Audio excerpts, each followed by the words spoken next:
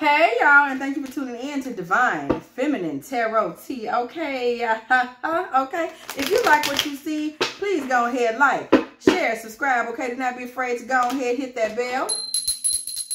If you want to be here every single time me and the Tea team are up in here getting it in with all of these good old tarot messages, okay? If you would like a personal reading from me, please go ahead hit me up at dftarot at gmail.com. All readings are $44.44 and do have a two to three day turnaround at this particular time. Y'all got a lot of readings coming in now. Y'all know y'all talking about this summer love.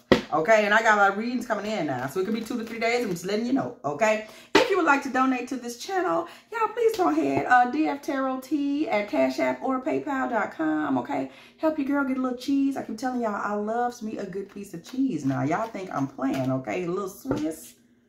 I eat, listen, I even like liver cheese. Now, y'all know, y'all know some of y'all might have not had them southern grandparents, okay? But I grew up with that. Y'all know that liver cheese to have the white piece around there? Mmm. I like liver cheese. All right. Like this video, like this video, like this video. Oh, let's go ahead and jump into it, y'all. Um, the reading that I did before this, we coming up with the Empress for manifestation on the bottom of the deck before we even get started. Um, just as I started this video, I actually um, just did a reading, which will be out later on today. Okay, I'm gonna go and drop that heat later on today. You feel me? Um, that does discuss how winter plays a particular role in a particular love relationship. So I just kind of want to look a little bit more into that at this particular time. Why did winter come up on my board in regards to a love relationship, a romance that did have infinite energy. Okay, and I was pointed to the fact that that relationship would coincide with the directions of the north. And I say, why, Spirit? So we're going to go ahead and look in that. Four of Wands energy comes up on the bottom of the deck. Um, why was that forever relationship? This was a very, this relationship had uh, a lot of infinite energy. And it was associated with the north. Two of Pentacles on the uh, bottom of the deck. Okay, showing us that there may be up to two reasons for this. Why? High Priestess energy, okay.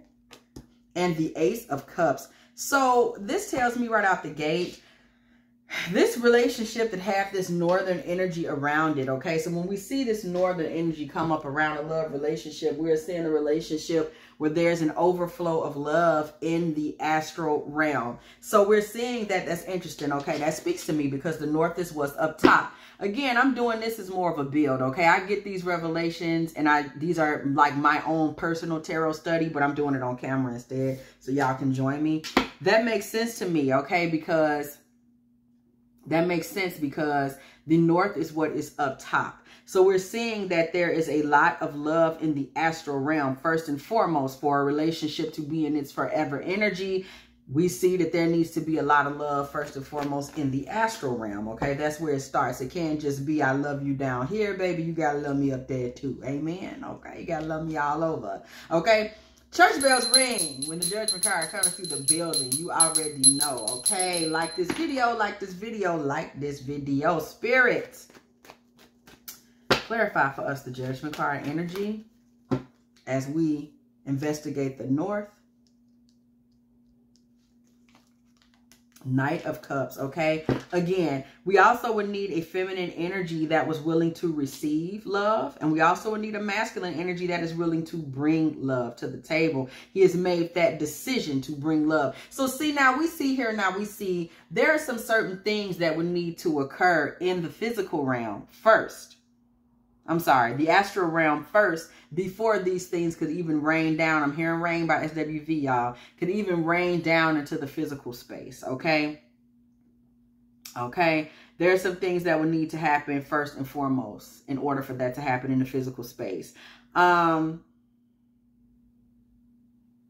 that's really dope, okay? Because we see here this judgment card, again, takes us into the astral. Um, a masculine would also be willing, have to be willing to come out of the astral. So this can be a masculine that's like in his head. You know how it is. We sit in our heads and think about what we want to do. He has to make the decision to move forward. We also see that it does have to be the masculine and the energy that makes the decision to move forward. Okay. To come out of that space and make an offering. Okay. Five of Wands energy with the Ace of Wands energy, okay? So these things would have to come down from the north and kind of fight their way into the astral realm. We are, I'm sorry, the physical realm. We also see that there is a certain process, okay? And I'm going to say alchemically, I would imagine this has something to do with fire, okay? For something to be refined and then manifest itself with a new beginning in the physical realm.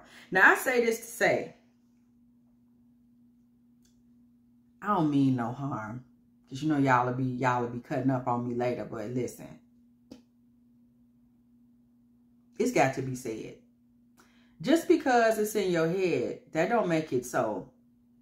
And I, I've had female friends in my life. I'm sure we all have.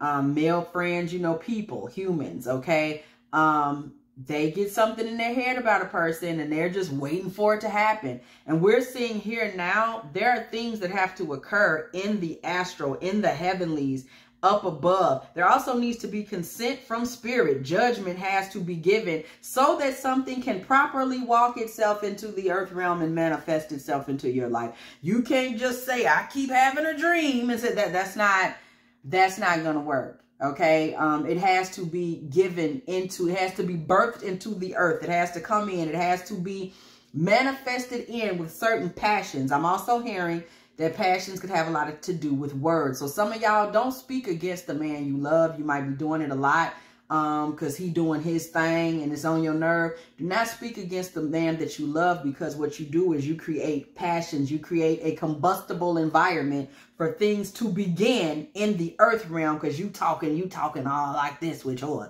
don't do that.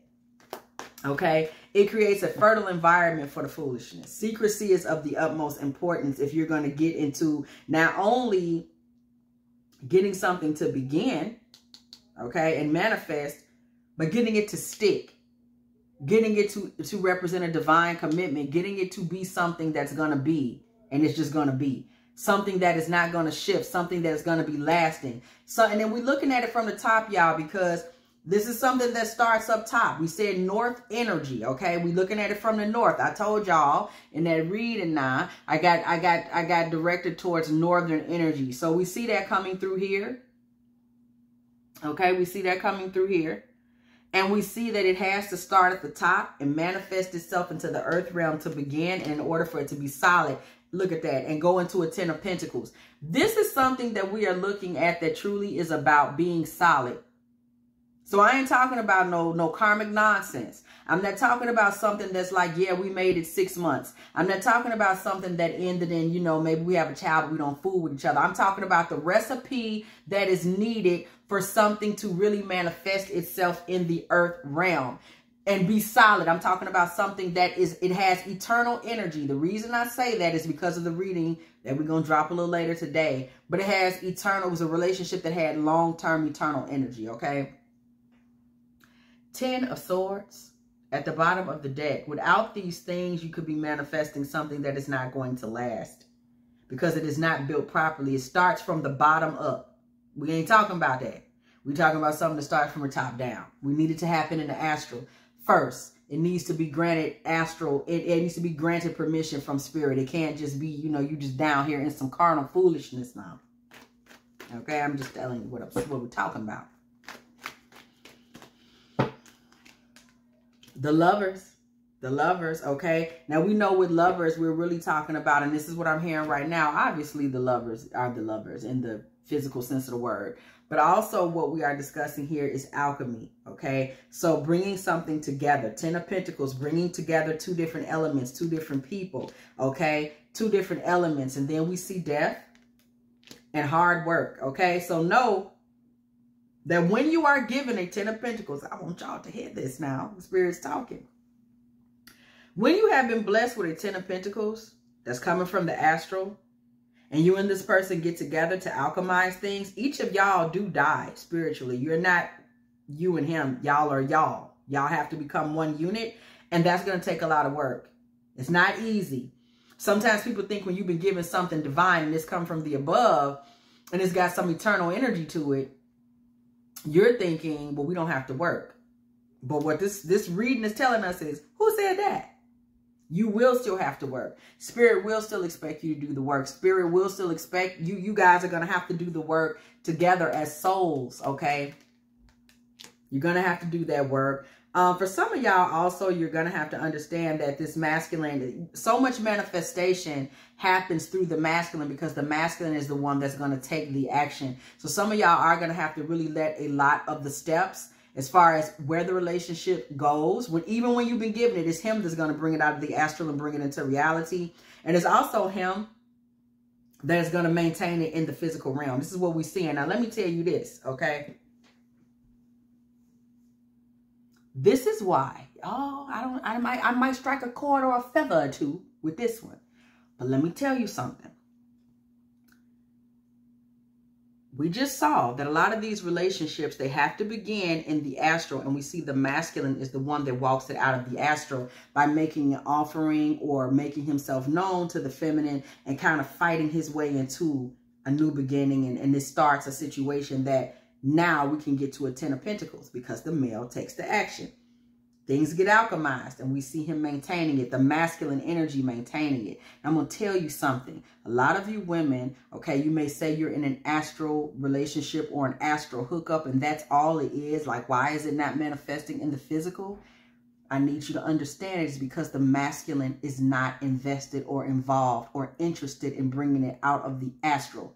He knows it's there. He knows the feelings are there. He knows what you may feel for him. He is aware of it in the astral and he has not made a decision to bring it out of the astral. Okay. Anytime somebody is saying, why won't it materialize? Does he feel what I feel? It is up to him to bring it out of the astral through his actions. And if a man is not bringing something out of the astral with his actions, then it cannot manifest. Because we see with the magician, I'm going to take y'all through the tarot now. I'm going to take you on a journey. With the tarot, we see the magician takes action. And where does he go? To the high priestess. So he gives this to the high priestess. That's card number one, and it's card number two. Okay? First, it starts in womb energy, right? Which is the fool. This is the beginning, the beginning of the journey. It's card number one, the magician. Take the masculine, take an action. Number two is the feminine. She's not first, she's second in this. Is that feminine principle of the high priestess. Number three is the empress who manifests it and then gives it to the emperor who can carry it off in the physical. Now, all I'm trying to get you to see it can't manifest without the masculine. So anytime something just in the astral, which is the high priestess, that's just the feminine energy all by itself. If it's in the astral and it ain't coming out, he don't want it to. Yeah, I know, I know. I, I should maybe I should have said quieter. If he not, no, I'm not gonna spare nobody. If it's astral, is there's no that means it's only one of y'all in it. He have to do something about that. There has to be a masculine and a feminine principle. They go to high priestess looking you right in the face. There has to be a masculine and a feminine principle in order for anything to manifest. There has to be, you know, even in the physical realm, it's a man and a woman and then there's a birth. Don't nothing change because you're in the astral. If it's not manifesting, it's because only one of y'all is present. There's no other way for that to happen. This is how men, we see masculines, they, they stalking a woman now. Because they're in the physical. They taking action in the physical. They they doing a magician thing. They taking action. She not on that with him. So now he just taking action by himself. Nothing is is nothing is gonna be is gonna manifest. He just gonna catch a stalker charge. This on is facts. Nothing's gonna manifest. Because both the masculine and the feminine have to be present in it for the relationship to manifest and then carry out down into the physical. Now, just telling you, this is what happened.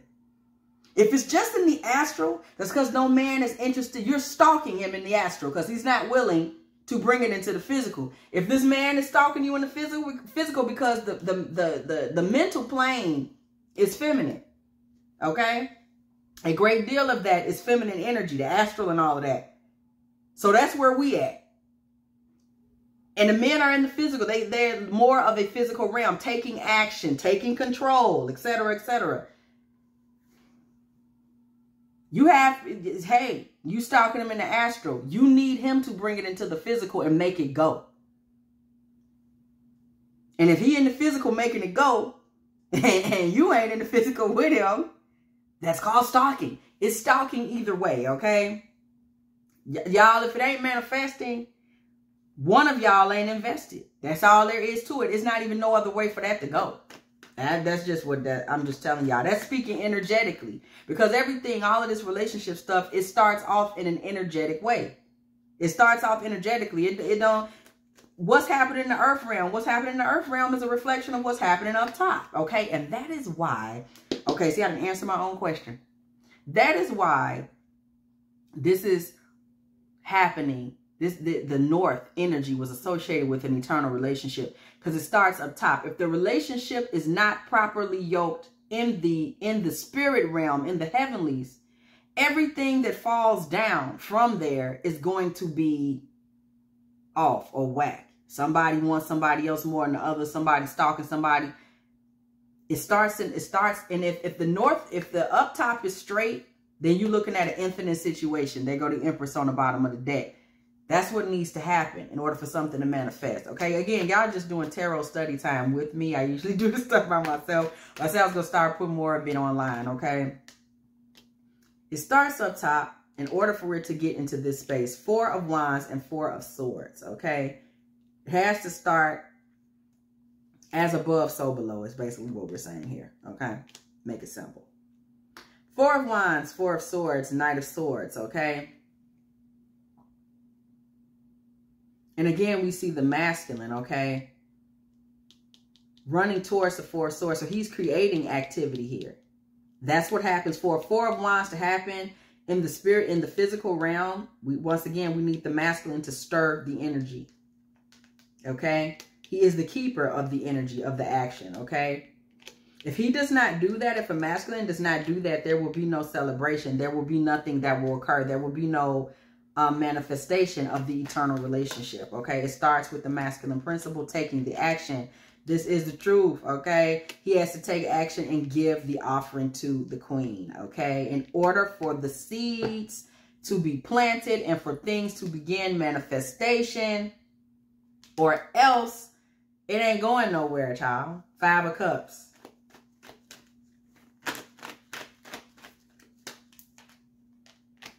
And that's on period, okay? That's that's it. That's all. That's all she wrote. Ah, yeah. Mm. So this is why that eternal flame that I saw in that last reading that will be out later today pointed us to the north, okay? Because what we're talking about is as above, so below. The connection has to start as above, and without the masculine principle being willing to take action, something is not going to even come out of the astral and without the feminine principle being interested in the physical, something is not going to manifest in the physical either. It has to be both, okay? And that is necessary and that occurs when we see something that starts in the north. It was, it was, both people are sincerely in love and spirit has decided to manifest this, which starts with the masculine energy, manifesting it through his words and his actions into the physical realm, okay?